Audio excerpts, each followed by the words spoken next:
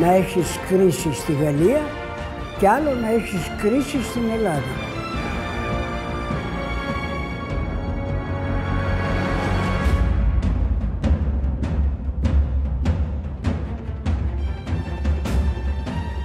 Η ελληνικότητα είναι να πιστεύεις πάντοτε ότι έχεις μία συνέχεια.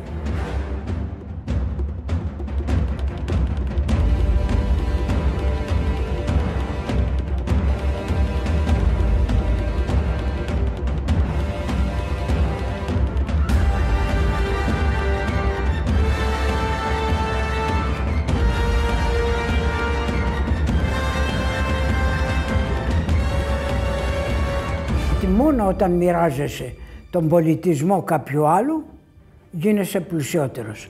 Και είναι η μόνη μοιρασιά η οποία δεν σε κάνει φτωχότερο.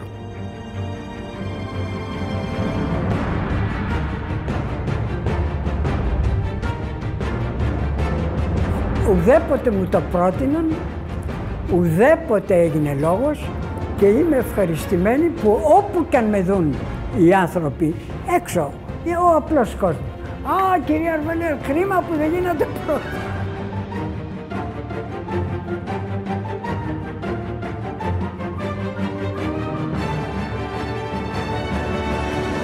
Οι μόνοι οι οποίοι δεν σκοτώνονται μεταξύ τους είναι αυτοί οι οποίοι έχουν κοινά συμφέροντα.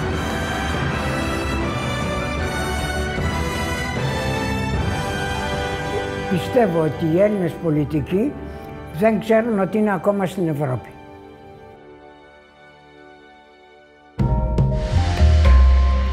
Κυρίες και κύριοι, φίλες και φίλοι, καλώς ήρθατε.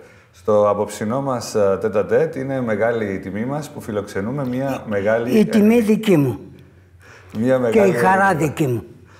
Η κυρία Αρβελέρ, ήδη την ακούσατε. Ε, είναι δική μας η τιμή, κυρία Αρβελέρ. Ε, η μισή εκπομπή δεν φτάνει για να αναφερθούμε στις περγαμηνές σας. Ε, πρώτη γυναίκα πριν ναι, στο ναι. Πανεπιστημίο Ναι, ναι, φτάνει. Μην, περνάμε. Ακούστε, του θα Ευρωπαϊκού πω, Πανεπιστημίου. Όχι, θα σας πω τι λέω συνήθως. Ναι. Λέει, ένας Αμερικάνος περίφημος πεθαίνει. Και αρχίσανε. Ήταν ο ωραιότερος, ήταν ο καλύτερος, ο δικαιότερος, ο, ο, ο, εξυπνότερος. Και η χείρα του δίνει μια σκοντιά στο γιο τους και του λέει «Παιδί μου, πήγαινε να ανοίξεις το φέρετρο. Έχουν κάνει λάθος νεκρό». Λοιπόν, προχωράμε τώρα. λοιπόν, σας έλεγα και εκτός κάμερας ότι σε τέτοιους δύσκολους καιρούς για όλους, όχι μόνο για την Ελλάδα και την Κύπρο, γενικότερα βρισκόμαστε σε μια καμπή, αν και η ιστορία κάνει κύκλους και θέλω να τα δούμε όλα αυτά, α, θεωρώ ότι πρέπει να ακούγονται οι απόψεις ανθρώπων όπως εσείς. Λειτουργούν κάπως σαν φάρος. Να απαντήσω αμέσως σε ναι. κάτι. Είπατε ότι σε όλο τον κόσμο υπάρχει δυσκολία και κρίση.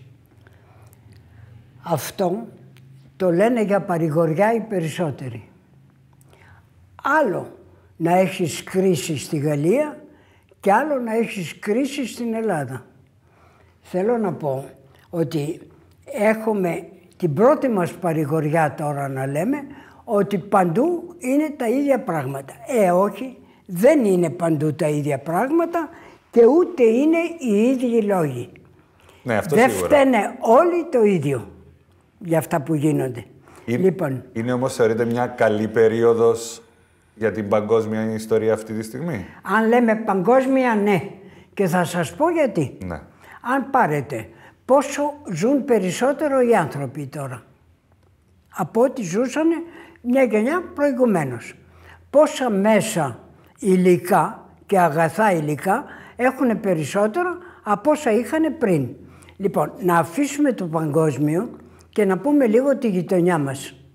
Στη γειτονιά μας είναι το πρόβλημα. Το μεγάλο πρόβλημα είναι της γειτονιάς μας. Και όταν λέω γειτονιά, λέω τη Μεγάλη Ευρώπη και λέω βεβαίως και την Εγγύης Ανατολή και όλα τα πράγματα που ξέρουμε. Αλλά δεν είναι το ίδιο πράγμα να είσαι Κινέζος αυτή τη στιγμή και Ινδός από το να είσαι Ευρωπαίος. Να τα πάρουμε λοιπόν από την αρχή.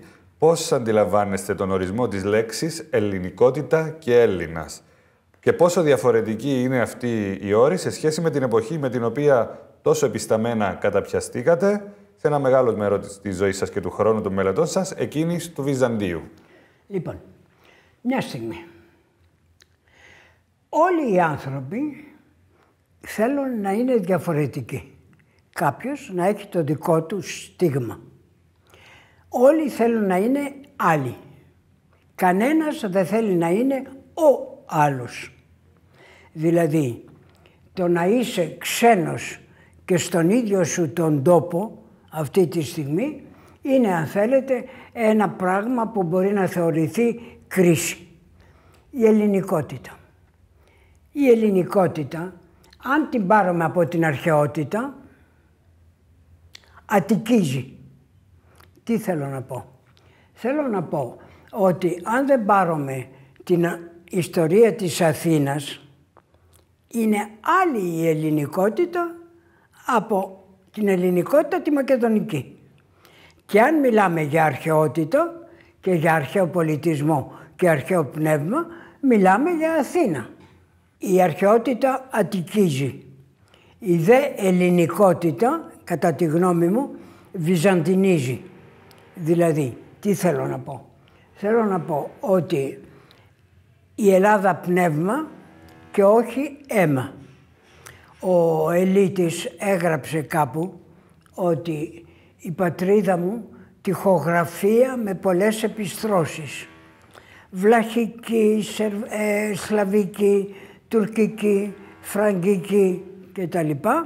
που αν, αν βαλθείς και τις ξύσεις πηγαίνεις φυλακή. Λοιπόν, η Ελλάδα πνεύμα και όχι αίμα. Και το πνεύμα ταξιδεύει. Δηλαδή, από την Αθήνα θα περάσει στην Αλεξάνδρεια. Την Αλεξάνδρεια, Αντιόχεια κτλ. Μιλώ για τα ελληνιστικά. Από εκεί θα περάσει στο Βυζάντιο. Θα περάσει στην πόλη. Από την πόλη θα περάσει πού; Η πόλη είναι Νέα Ρώμη, είναι Νέα Ιερουσαλήμ, Νέα Σιών. Δεν έχει γίνει ποτέ Νέα Αθήνη. Ποτέ. Από την πόλη θα περάσει τη Βενετιά τη Βενετιά και στην Ιταλία και από τη Βενετία θα ξανάρθει σαν καθρέφτης στη νεότερη Ελλάδα που λέει ο λόγος και θα κάνουμε ό,τι κάνουμε για να είμαστε Ευρωπαίοι αυτή τη στιγμή. Λοιπόν, η νεότερη Ελλάδα ευρωπαίζει, η Βυζαντινή Ελλάδα και ο μεγάλος ελληνισμός βυζαντινίζει και η αρχαιότητα αττικίζει. Λοιπόν, τι κάνουμε τώρα, ποια είναι η ελληνικότητα, η ελληνικότητα είναι να πιστεύεις πάντοτε ότι έχεις μία συνέχεια. Και ποια είναι αυτή η συνέχεια; Δεν μπορείς να βάζεις την ε, πόλη η οποία είναι, μιλώ για την Κωνσταντινούπολη, δεν μπορείς να τη βάζεις μέσα σε παρένθεση επειδή η Ελλάδα είναι ο μόνος, οι Έλληνες, είναι ο μόνος λαός που δεν ελευθέρωσε την κοιτίδα του γένους. Ποια είναι η κοιτίδα του γένους; Δεν είναι η Αθήνα, Ορθοδοξία, γλώσσα νεοελληνική, όλα αυτά είναι το Βυζάντιο. Λοιπόν, μη έχοντας ελευθερώσει την κοιτίδα του γένους, κάναμε το 1830 πρωτεύουσα την Αθήνα, πηδάμε χίλια χρόνια Βυζαντίου για να γίνουμε απόγονοι κατευθείαν του Περικλή. Ε, ποιος δεν γελάει. Άρα αυτό θεωρείτε ότι άφησε μας άφησε ως έθνος διάφορα έτσι, να το πούμε, συμπλέγματα; Το μεγαλύτερο σύμπλεγμα είναι αυτό που θα έλεγα η ημιπληγία. Δηλαδή, όταν το Αιγαίο, το οποίο είναι το κέντρο, αν θέλετε, του ελληνισμού, γιατί αν μιλάμε για ελληνισμό, δεν μιλάμε μόνο για ελλαδικό ελληνισμό. Αν πάρετε τα προσοκρατικά, αν πάρετε ακριβώς όλη την αναλαμπή του πρώτου πνεύματος, πάμε από την άλλη μεριά του Αιγαίου επίσης. Λοιπόν, η ημιπληγία του Αιγαίου, δηλαδή να μην μπορεί το Αιγαίο αυτή τη στιγμή να είναι αντί κέντρο σύνορο που έγινε, αυτό είναι ένα από τα πράγματα τα οποία είναι τα πιο τραυματικά, αν θέλετε, της ελληνικότητας. Για να μην μιλήσω βέβαια για την Κύπρο, η οποία και αυτή είναι ακριβώς θα έλεγα στην εικόνα αυτής της ημιπληγίας. Λοιπόν, αυτό είναι το πρώτο τραύμα. Υπάρχουν όμως και άλλα πολύ περισσότερα. Όπως όλοι οι λαοί, οι Έλληνες έχουν μία ιστορία αυτοεκτίμησης. Δεν θα πούμε ποτέ, ποτέ ποια είναι τα πράγματα τα οποία μπορεί να εκθέσουν, αν θέλετε, κατά κάποιο τρόπο την ελληνικότητα. Μιλάνε για κούγκια, μιλάνε για χίλια δύο πράγματα.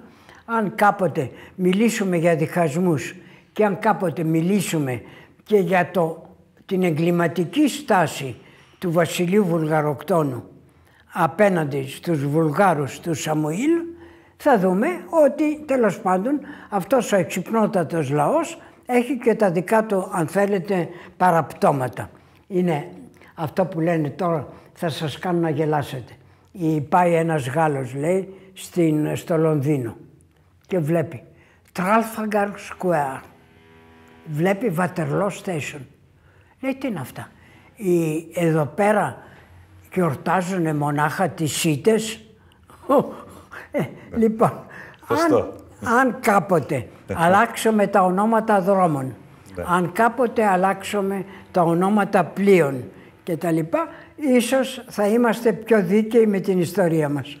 Αυτός ο διχασμός του Έλληνα ανάμεσα σε Ανατολή και Δύση είναι και τώρα και Ευρώπη, ε, Ανατολή και Δύση βασικά. Ναι, ναι. Δεν ξέρει πού ανήκει, ξέρει, ε, είναι στο DNA του αυτή, αυτός ο διχασμός, τον ταλαιπωρεί; Ποια είναι η άποψή σας; Ακούστε, στη Γαλλία λέμε κάτι που είναι από τα πιο αστεία πράγματα.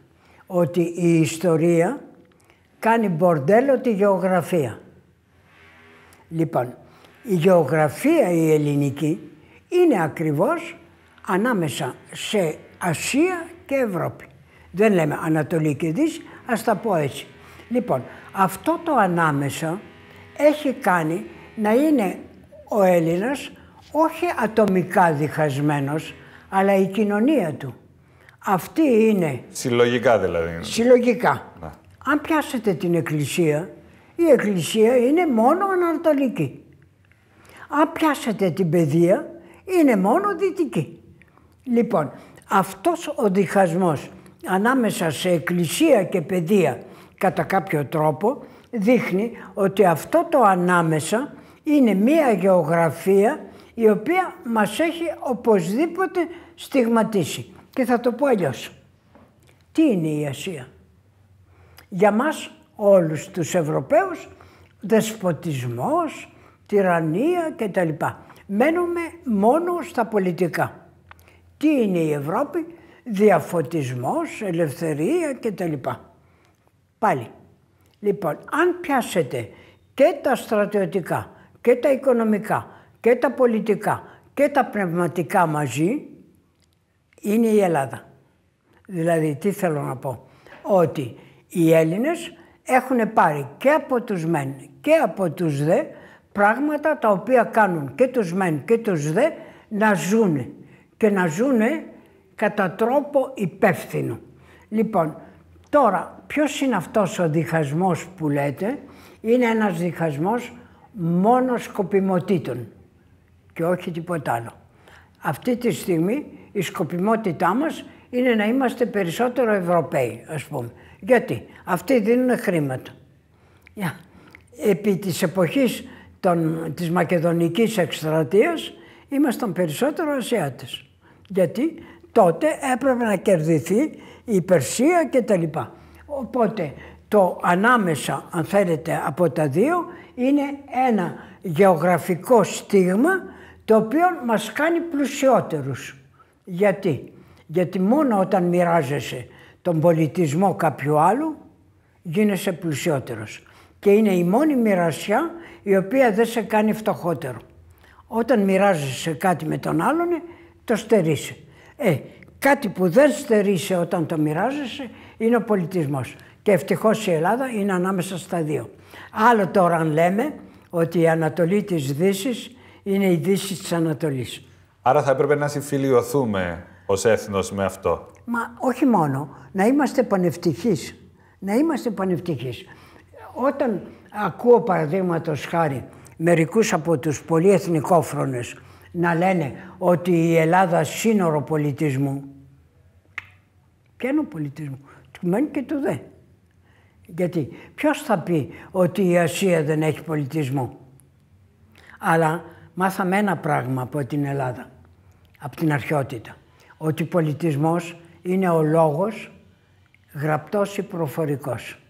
Ενώ αν πιάσετε την Ασία, πολιτισμός είναι το κτίσμα, τα υλικά, τα, τα, τα αγαθά τα οποία κάνουν τη ζωή μεν ευκολότερη, αλλά όχι πλουσιότερο το πνεύμα. Άρα το «Πας μη Έλλην βάρβαρος» που μετά, όπως, διάβασα, όπως διάβασα και στο βιβλίο σας... Θα τα αφήσουμε αυτό. Το «Πας μη Έλλην βάρβαρος», αυτό το λέμε, το ξαναλέμε, τώρα φτάνει αυτό. Έλληνες εσύ, ή της ημετέρας... Παιδείας. Παιδεύσεως. Παιδεύσεως μετέχοντες. Όχι παιδείας. Η παιδεία είναι ένα πράγμα οικο, οικογενειακών. Ενώ η παιδεύση είναι η εκπαίδευση. Όλη η Ελλάδα και εσείς πρώτος λέτε παιδεία. Κανένας δεν έχει πει Μα έτσι το έχουμε διδαχτεί. Ε, μα διάβολε, διαβάστε η Σοκράτη. Είναι η της συμμετέρας παιδεύσεως μετέχοντες. Λοιπόν, και τι λέει ακόμα; Το Έλλην ούτου γένους αλλά της διανοίας. Ο Ισοκράτης ο ίδιος. Λοιπόν, μην ψάχνουμε τώρα το πας Έλλην βάρβαρος, αλλά μέσα στον ίδιο τον τόπο δεν υπάρχει. Διατείνομαι ότι ο μεγαλύτερος ρατσισμός είναι ενδοφιλετικός. Εξηγούμε. Ο μορφωμένος δεν μιλά στον ομόρφωτο. Ο πλούσιος δεν μιλά στο φτωχό. Ο ακέραιος και ο σώος δεν μιλά στον κουτσό. Ε, αυτός είναι ρατσισμός. Όχι το ότι ο άλλος πιστεύει στον Αλάχ ή στο δεν ξέρω ποιον. Λοιπόν, αυτά λέω καμιά φορά και με ε, κυνηγούν όλοι. Σας ενοχλεί αυτό; Όχι. Λέω, όταν με ρωτάνε, κύριε Αρβελέα, και εσείς με ρωτήσατε, κάθεστε λέει στο Παρίσι ή στην Αθήνα; Λέω, βρε παιδί μου, μοίρασα τη ζωή μου μεταξύ Παρισιού και Αθήνας, ποιος μπορεί να πει κάτι καλύτερο; Αν μου το ρίχνει. Τώρα, αν καθόμουν μόνο εδώ, με τη γλώσσα που έχω, δεν θα ήμουν ούτε βοηθός πανεπιστημίου. Σίγουρο όχι. Λοιπόν, δεν, το ότι και από εδώ και από εκεί ε, με, με κατηγορούν, τόσο το χειρότερο ή τόσο το καλύτερο. Μια και πήγατε εκεί, θεωρείτε ότι ε, το Παρίσι σας έκανε αυτό που είστε; Απολύτως. Και θα σας πω γιατί. Θα σας πω γιατί. Φτάνω στο Παρίσι το 1953. Έχω τελειώσει εδώ το, τη φιλοσοφική σχολή και ενώ οι δάσκαλοι μου είναι πρώτης γραμμής όλοι, είναι απροσπέλαστοι. Καθηγητής πανεπιστημίου, το φοιτηταριό, άλλο πράγμα. Φτάνω στη Γαλλία. Ο μεγαλύτερος βυζαντινολόγος, δηλαδή ο Πολ Λεμέρλ, με παίρνει από το χέρι και με πηγαίνει στην Εθνική Βιβλιοθήκη της Γαλλίας και μου λέει «Δεσποινής Γλύκατζη, έτσι γράφουν το δελτίο, έτσι ζητάνε βιβλία, πόσο μπορείτε να τα κρατήσετε, σε ποια θέση μπορείτε να κάτσετε, ποιος είναι αυτός που θα σας δώσει πράγματα από το καμπινέτο, δεν μετάει, ποιος άλλος θα σας δώσει από τα χειρόγραφα; Λοιπόν, όταν βρίσκεσαι σε έναν τέτοιον τόπο όπου οι δάσκαλοι και είναι αυτοί οι οποίοι σε καθοδηγούν, σε καθοδηγούν καθημερινά. Όχι, παιδί μου καλά έγραψες, πάρε το δεκάρι σου. Αλλά καθημερινά, εδώ, εκεί, προσέξτε αυτό και ότι σου μαθαίνουν κάτι άλλο. Ότι κανένας δεν είναι νησάκι. Ότι όλοι έχουμε ανάγκη από το διπλανό. Και ποιος είναι ο διπλανός για τα Βυζάντια, για το Βυζάντιο; Ήτανε ο Τούρκος, ήταν ο Αρμένιος, ήταν ο Λατίνος, ήταν οι Σλάβοι, οπότε είσαι υποχρεωμένος να ανοίξεις αν θέλεις τον, τον ορίζοντά σου, όχι όπως μου λέγανε εδώ, ξέρετε τι είναι η επιστήμη, μου λέει κάποιος ακαδημαϊκός σου, από τους μεγάλους άλλωστε. Είναι, είναι ένα πηγαδάκι. Ο καθένας λέει βάζει ένα πετραδάκι. Ε, είναι το μόνο που μου είπαν ότι αυτό δεν είναι επιστήμη. Τι ήταν το σημαντικότερο που σας έμαθε, που σας δίδαξε το Παρίσι; Να σας το πάμε, ότι η επιτυχία δεν είναι θέμα ατομικό, ότι είναι συλλογικό θέμα. Μόνο όταν βρίσκεσαι σε περιβάλλον που όλοι κοιτάνε για το καλύτερο, που όλοι κοιτάνε, όχι αυτό που λέμε μόνο αριστεία, δεν είναι, αλλά μία άμυλα συμπληρωματική. Συμπληρωματική, όχι ανταγωνιστική. Ε, αυτό το μάθα στο Παρίσι. Όταν ήμασταν στο φροντιστήριο 15 άνθρωποι γύρω από το τραπέζι, μεταξύ των οποίων ήταν ας πούμε ο Σβορώνος, ο οποίος ήταν καθηγητής μου εμένα και εγώ δίπλα του. δεν υπήρχε ούτε η ηλικία ούτε, αλλά η, η μέρημνα να γίνουν τα πράγματα ολοκληρωτικά. Και όταν έβαζε ο καθένας την ερώτησή του, περιμένοντας την απάντηση από τον άλλον, όχι μόνο από τον δάσκαλο ή από τον εαυτό του, ε, αυτό το έμαθα στο Παρίσι. Αυτή... Και έμαθα και κάτι άλλο, ότι από τη στιγμή που είσαι καλός στη δουλειά σου, δεν είναι ανάγκη υποχρεωτικά να είσαι Παριζιάνος. Και ούτε υποχρεωτικά να είσαι άντρας. Αυτή η αρεκτικότητα, αυτό το χωνευτήρι πολιτισμών που είναι η Γαλλία, έχετε σκεφτεί ποτέ ότι αν δεν πηγαίνατε στο Παρίσι και πηγαίνατε στο Λονδίνο ή στη Νέα Υόρκη, θα είχατε την ίδια ευκαιρία και την ίδια εξέλιξη και ανέλυξη; Θα σας γινότανε δηλαδή; Ακούστε, ακούστε. Δεν μπορούσα να πάω πουθενά αλλού για ένα πράγμα πολύ απλό. Έβγαινα από την κατοχή, ήμουνα υπονίτησα, δηλαδή στο αριστερό κίνημα. Αν πήγα στη Γαλλία, δεν θα μπορούσα ποτέ να πάω Γερμανία. Έκανα 25 χρόνια γερμανικά και δεν έχω μιλήσει ποτέ γερμανικά. Διαβάζω, γράφω, κάνω. Να μιλήσω ποτέ. Λοιπόν, δεν μπορούσα παρά να πάω στη Γαλλία γιατί η Γαλλία ήταν η Γαλλική Επανάσταση. Ήτανε το Παρίσι με ανθρώπους οι οποίοι φτάνανε από τη Μόσχα, φτάνανε κτλ. Οπότε ήταν πια ε, μία επιλογή τελείως συνειδητή. Τώρα, αν πήγαινα στο Λονδίνο, νομίζω ότι θα ήταν το ίδιο πράγμα όσον αφορά τη συλλογικότητα. Και εκεί πέρα ακριβώς όλοι, όσον αφορά το άνοιγμα σε ορίζοντες που λέμε πολυδιάστατους επιστημονικά. Ας πούμε, στο Παρίσι, στο, στην ιστορία, στο Βυζάντιο, κάναμε οικονομική ιστορία, κάναμε διπλωματική ιστορία. Δηλαδή, πράγματα τα οποία εδώ δεν τον υποψιάζονται. Πρέπει να ξεκινήσεις μόνο αυτό, να είσαι και ο καλύτερος κτλ. Λοιπόν, θα ήταν το ίδιο. Τώρα, εξαρτώνται από τους δασκάλους. Αν πήγα στη Γαλλία επίσης, ήταν γιατί ο μεγαλύτερος βυζαντινολόγος της εποχής ήταν Γάλλος. Θα μπορούσα να πάω στη Γερμανία, γιατί υπήρχε ο Ντέλγκερ, ο οποίος ήταν από τους πολύ μεγάλους βυζαντινολόγους τότε, αλλά η Γερμανία αποκλειόταν για τον λόγο που σας είπα.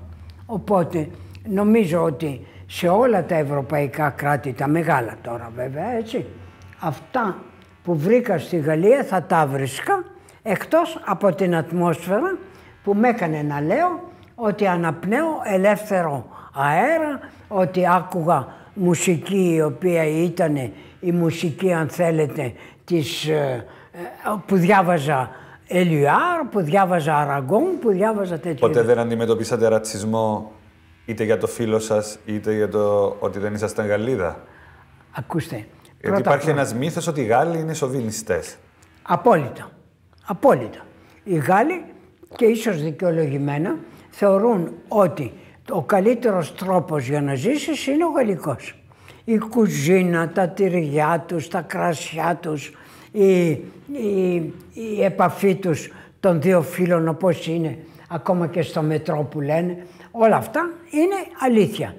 Αλλά από την άλλη μεριά υπάρχει και αυτό που λέμε η αξιοκρατία. Τι ήθελες να γίνεις; Αν ήταν να γίνω μοντέλο, βεβαίως δεν θα γινόμουν. Αλλά βεβαίως έγινα καθηγήτρια όντας Γαλλίδα. Προσέξτε. Αν δεν ήμουνα Γαλλίδα υπήκος, δεν θα γινόμουν τίποτα. Οι Γάλλοι αποκλείεται να σε κάνουν ό,τι να είναι από, τα, από τις μεγάλες θέσεις λέω έτσι.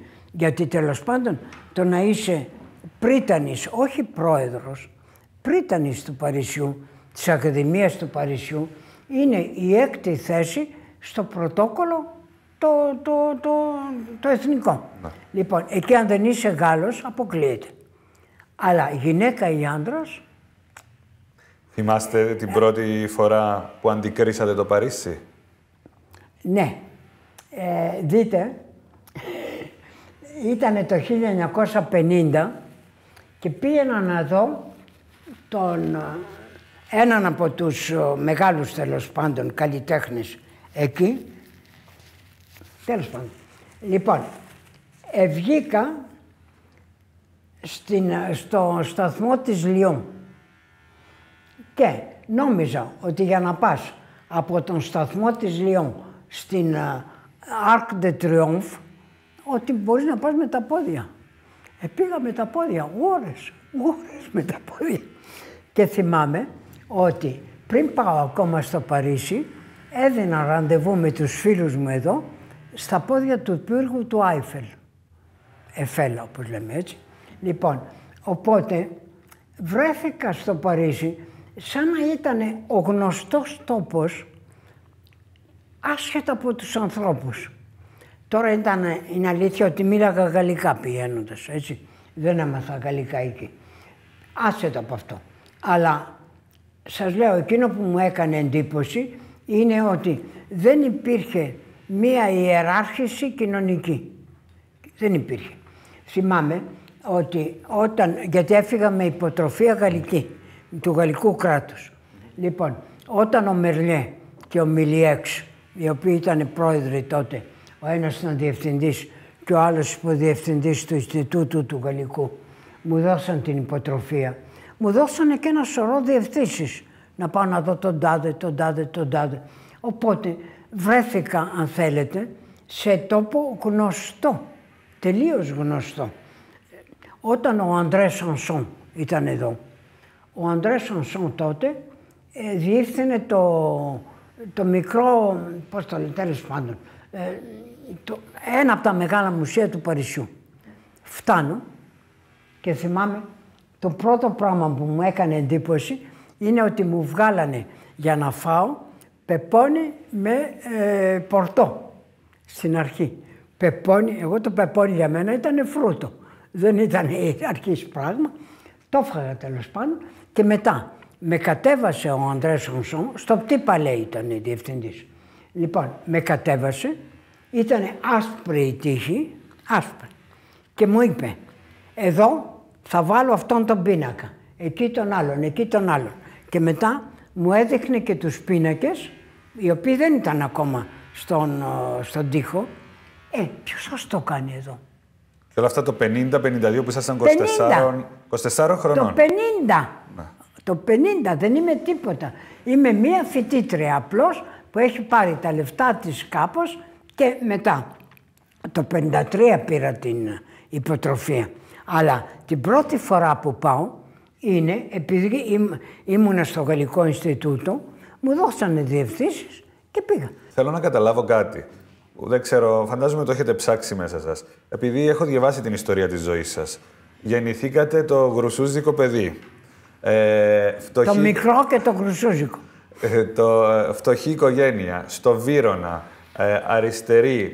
περπατούσατε πάνω από πτώματα για να πάτε επικατοχή στο σχολείο. Στο σχολείο. Ε, όλη αυτή η ορμή, όλη αυτή η δύναμη, όλη αυτή η θέληση ότι θα περάσετε τον ορίζοντα τον, ακούστε, τον ημιτό, ακούστε, ας πούμε, ακούστε, και θα πάτε παρακάτω. Από πού προήλθε; Δεν ξέρω. Ακούστε με. Ναι. Ακούστε με. Θυμάμαι, παιδί, ότι όταν πήγαινα να δω φίλους και φίλες εκεί, το βράδυ, στο Βύρονα, όλο το βράδυ έξω. Πω. Έβγαινε η γυναίκα που είχαμε, μας είχε μεγαλώσει όλους και φώναζε «Ελενίτσα, εγώ έκανα ότι ούτε ακούω ούτε τίποτα». Πάει αυτό. Λοιπόν, θυμάμαι στην κατοχή, έβλεπα τον ουρανό και έλεγα βρε Θεέ μου, θα είναι ο ίδιος ουρανός όταν θα είμαστε ελεύθεροι. Δηλαδή, δεν άφησα ποτέ τον εαυτό μου, λέω, να τον νικήσει η ιστορία. Ο μεγαλύτερος εχθρός του ανθρώπου που χάνει τον εαυτό του είναι η ιστορία. Δεν είναι τίποτα άλλο. Λοιπόν, αν έλεγα κατοχή, ε, έμπα μέσα, ε, μου λέει η μάνα μου, τώρα είχαμε ένα ραδιόφωνο με κάτι ε, σαν ε, στρογγυλά, μεγάφωνα, κάτι πράγματα. Τεράστιο, μεγάλο. Ε, ένα πράγμα ναι. αυτό. Μου λέγε, δεν πρέπει να βάζεις ραδιόφωνο. Τάκ! Εγώ, ό,τι ήταν.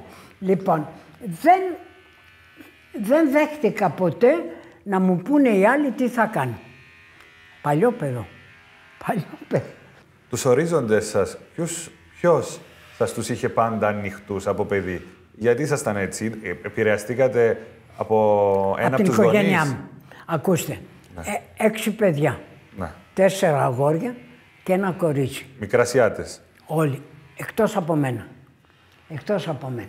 Λοιπόν, η... Άρα τα... προσφυγιά, Ναι, φτώχεια. και τα αγόρια μεγάλα. Ναι. Μεγάλα. Ο μεγάλος μου αδελφός ήταν 17 χρόνια πιο μεγάλος από μένα. Οπότε, ε, για μένα ήτανε, πώς να σας πω, ήτανε θέμα ζωής να μπορώ να επιπλέψω κατά κάποιο τρόπο. Γιατί ο καθένας έκανε το δικό του εκεί μέσα. Αλλά όλοι ήμασταν η οικογένεια, οι οργανωμένοι και οι αγαπημένοι. Το θέμα που μου έκανε εμένα να είμαι αυτό που είμαι είναι ότι δεν άφησα ποτέ τα αδέρφια μου να με κοροϊδεύουν. Γιατί πήγαινε παραδείγματος χάρη, όπως ήμουν το μικρό, τα αδέρφια μου μεγάλα, με κοροϊδεύανε συνέχεια, με πειράζανε, με κάνανε. Να σκεφτείτε, παίζανε χαρτιά. Παίζανε χαρτιά τα γόρια με τους φίλους του. Βάζανε κάτι λεφτά στην άκρη του τραπεζιού και λέγανε τώρα, αν λέγαμε στο μικρό να πάει να πάρει τσιγάρα, θα μας έφερνε άλλη μάρκα, ρέστα που δεν θα είναι τα σωστά. Άντε, πρέπει να πάει ένας από εμάς.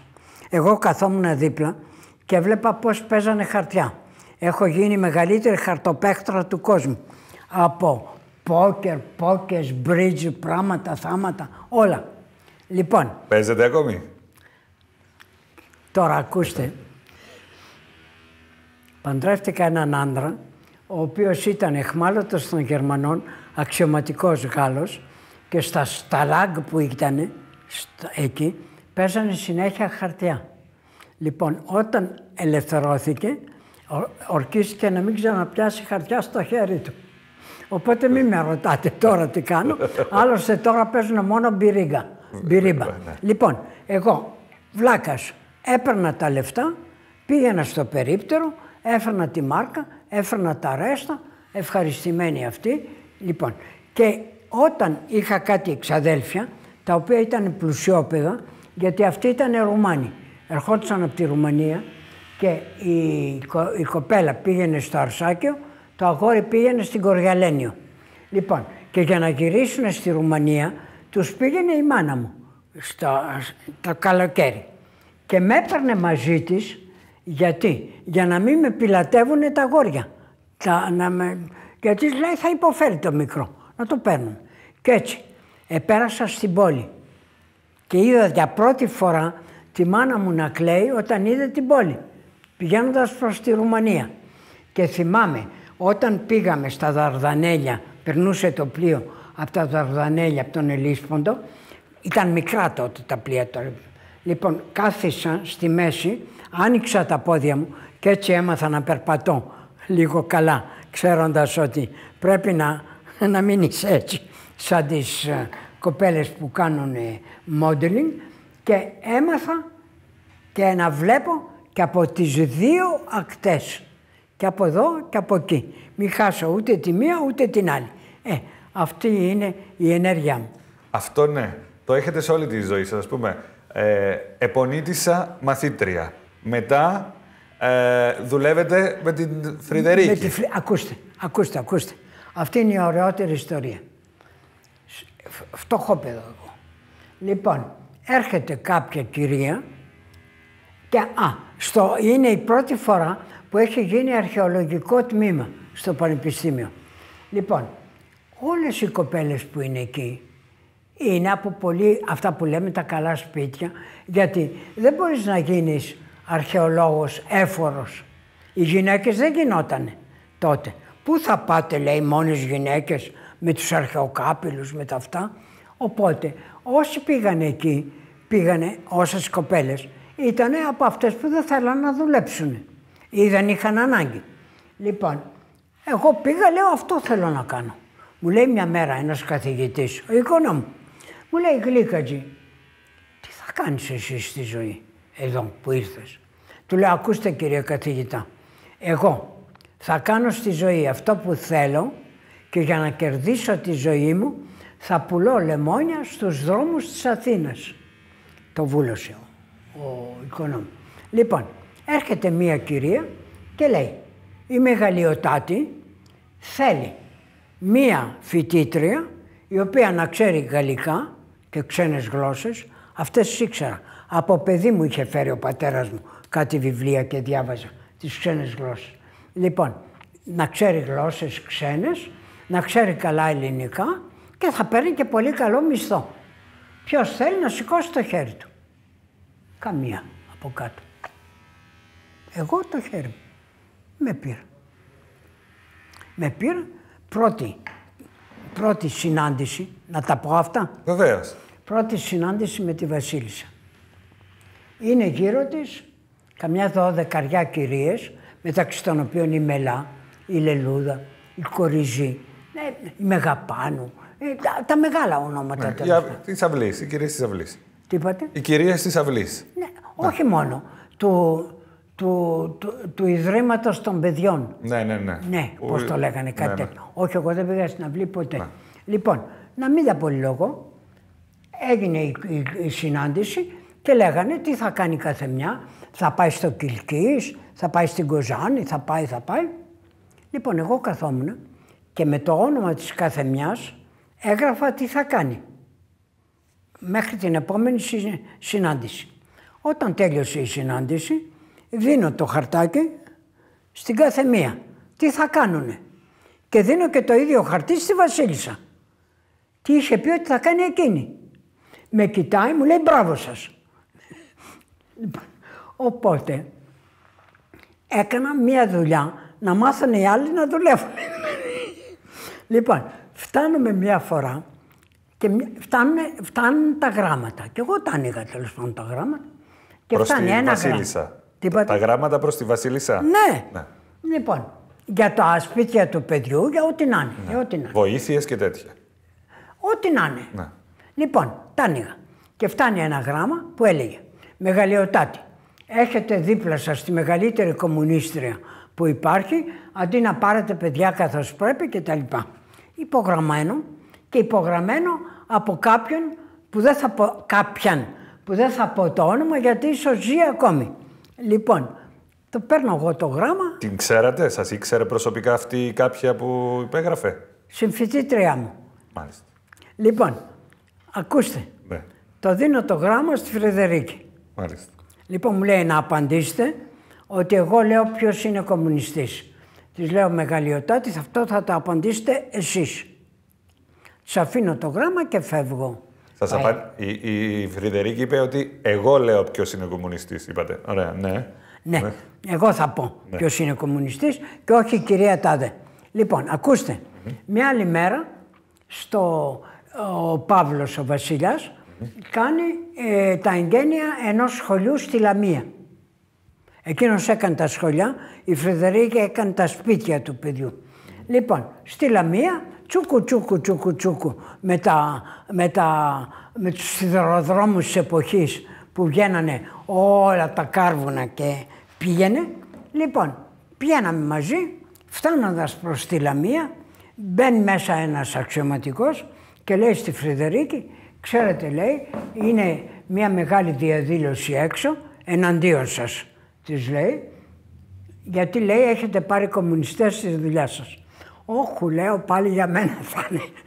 Εκεί, τέλος πάντων, φτάνουμε στη Λαμία, κατεβαίνει η Φρυδερίκη και εγώ από πίσω Και έρχεται ένας κύριος ο οποίος ήταν κουτσός και της λέει «Μεγαλειοτάτη, εγώ έχασα το πόδι μου για να έχετε εσείς την, ε, τον θρόνο σας και εσείς έχετε κομμουνιστές δίπλα σας χωρίς να πει τι και ποιος». Και γυρνάει η Βασίλισσα και του λέει «Δουλεύω μόνο με έξυπνους ανθρώπους. Αν εσύ έχασες το πόδι σου για να έχω εγώ το θρόνο μου και όχι για την πατρίδα σου, είσαι βλάκας. Το βουλώσανε όλοι και φύγανε. Πώς ήταν η Φρυδερίκη, μια και ήσασταν δίπλα της; Ήταν αυτή η αυταρχική γυναίκα που καταγράφεται στα βιβλία; Έκανε τη δουλειά της. Για την Φρυδερίκη, το να είσαι βασίλισσα είναι επάγγελμα. Ήταν επάγγελμα. Κυρία Αρβελάρη, θα πάμε σε ένα σύντομο διαφημιστικό διάλειμμα και σε λίγο και πάλι μαζί στο απόψινό μας τετατέτ με την κυρία Ελένη Γλυκατζή Αρβελέρ. Επιστρέψαμε στο απόψινό μας τετατέτ με την κυρία Ελένη Γλυκατζή Αρβελέρ από το Ευρωπαϊκό Πολιτιστικό Κέντρο Δελφών στην Πλάκα. Κυρία Αρβελέρ, εσείς δηλώνατε πάντα Πάντα αυτό που είμαι. Αριστερή. Ποτέ κομμουνίστρια. Αριστερή. Δεν γράφτηκα ποτέ στο κόμμα. Ναι. Τίποτα. Πάντοτε. Και το δηλώνω και τώρα. Υπάρχει διαφορά του αριστερός από το κομμουνιστής; Μεγάλη. Μεγάλη. Όπως υπάρχει και διαφορά από το αριστερός και πασοκίτης. Όπως υπάρχει διαφορά από το αριστερός και συριζέος. Θέλω να πω ότι δεν μπήκα ποτέ, ποτέ σε μία ομάδα που θα μου λέγανε ότι έπρεπε να σκεφτώ έτσι, ότι να ζήσω έτσι, ότι να κάνω έτσι και το να είμαι με φίλους αυτούς και όχι άλλους. Ναι, δεν πήγατε σε καλούπια, στα κομματικά καλούπια. Ποτέ. Ποτέ. Δεν ανήκω σε κανένα κόμμα. Και ναι. πρέπει να πω ότι, ακούστε με τώρα, κανένας δεν το πιστεύει, ότι ψήφισα Σαρκοζή κάποια στιγμή, δεν το πιστεύει κανένας. Κανένας. Και γιατί το έκανα. Για ένα πολύ απλό λόγο. Ήξερα ότι θα βγει ο Ολόντ, το ήξερα. Αλλά δεν έπρεπε να βγει με τέτοια διαφορά που να κάνουμε ό,τι να είναι. Λοιπόν, την πρώτη φορά ψήφισα Σαρκοζή και τη δεύτερη ψήφισα Ολόντ. δηλαδή, θέλω να πω, δεν είναι τι ψηφίζεις.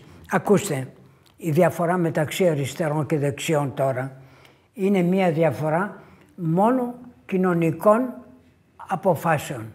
Επιμένω. Όχι φιλοσοφίας. Το να είσαι υπέρ του γάμου των ομοφιλοφίλων είναι να είσαι αριστερός. Δεν ξέρω κανέναν δεξιό που να είναι υπέρ του γάμου των ομοφιλοφίλων. Τα λένε, τα κάνουν, πάει. Το να είσαι για το χωρισμό μεταξύ εκκλησίας και κράτους είναι να είσαι αριστερός. Ε, πούντα, δεν έχουν γίνει στην Ελλάδα. Βρε γλυκέ μου, γι' αυτό σας λέω ότι είμαι αριστερή. ναι. Είμαι Γαλλίδα. Ναι, ναι. Το, το διαβατήριό μου είναι γαλλικών. λοιπόν, το να είσαι υπέρ της δικαιότερης διανομής των αγαθών των κοινωνικών είναι να είσαι αριστερός.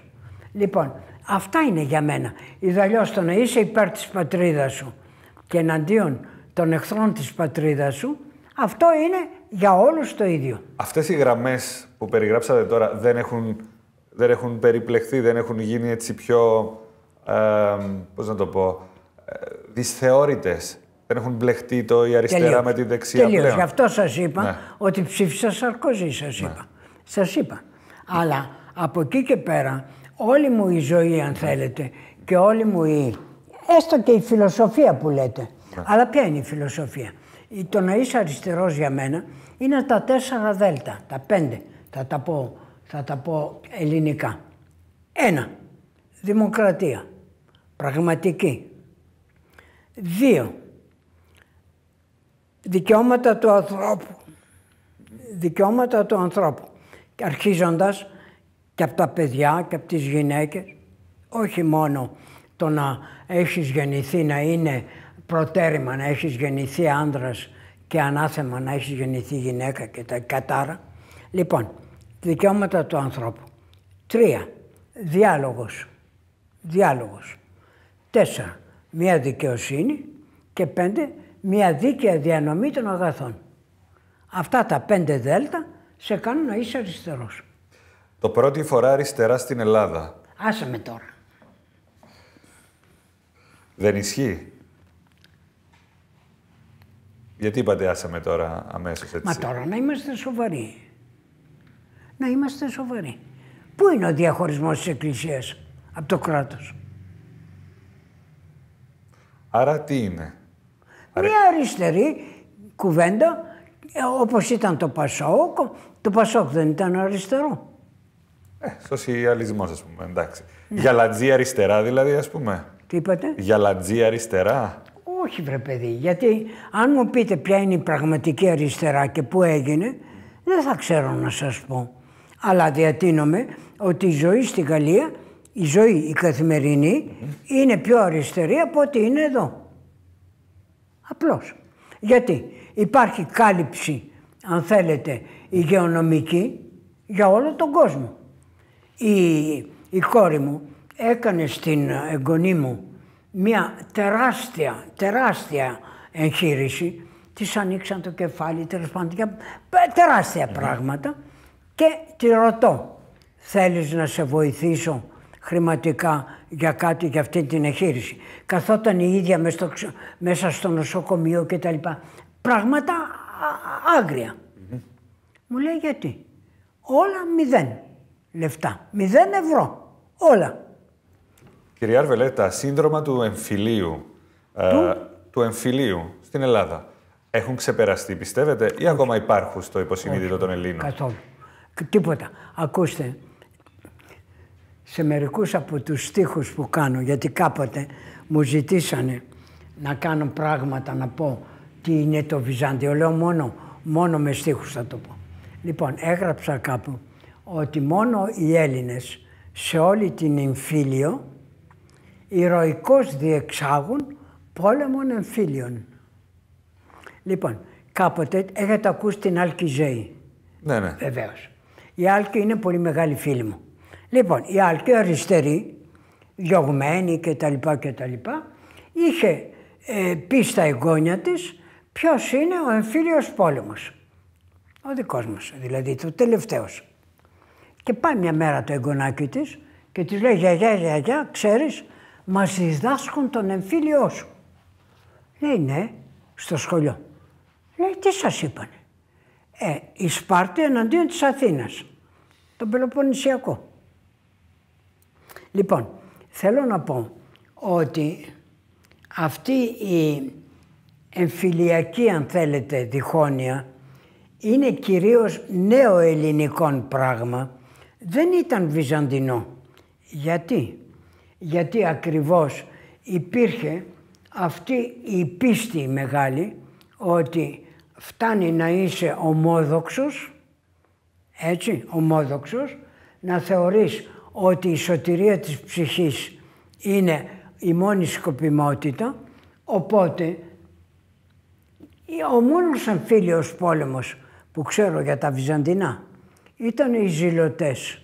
Αλλά και αυτοί μετά ακριβώς τη φραγκική κατάκτηση, όταν αρχίσανε να είναι γάσμουλοι, μαζί με τους Φράγκους δηλαδή, οι αντίθετοι και τα λοιπά, και οι μόνοι εμφύλοι πόλεμοι στην, στο Βυζάντιο είναι ακριβώς η μεγάλη αντίθεση μεταξύ ενωτικών και ανθενωτικών.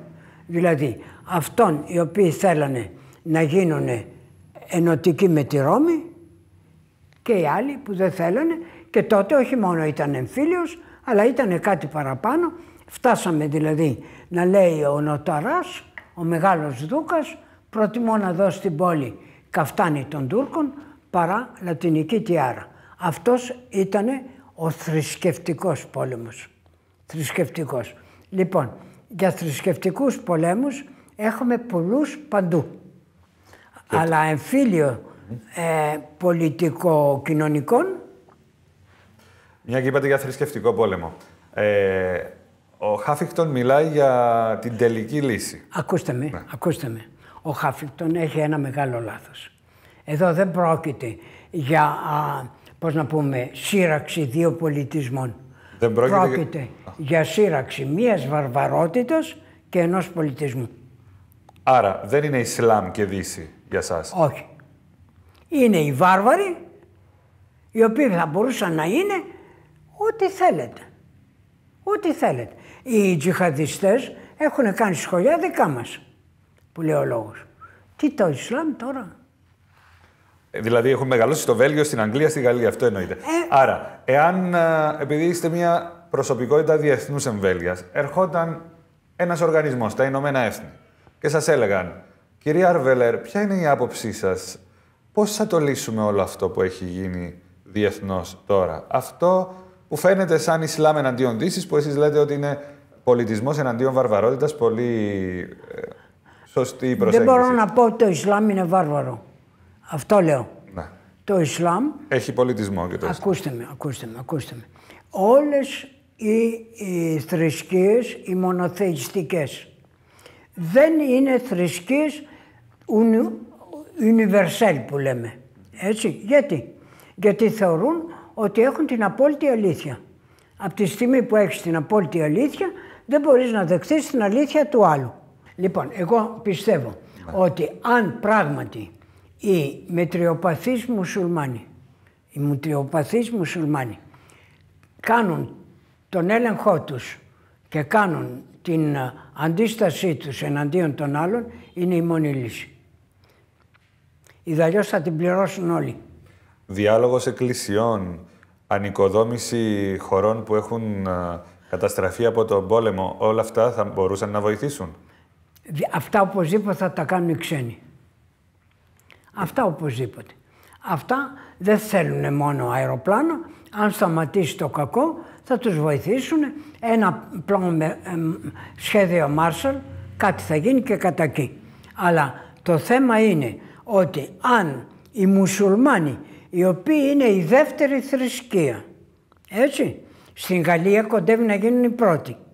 Αν οι μουσουλμάνοι, δε- οι μετριοπαθείς, δεν πάρουν στα χέρια τους την ασφάλεια των δικών τους, αν θέλετε, ανθρώπων, πραγμάτων κτλ, θα την πληρώσουν όλοι.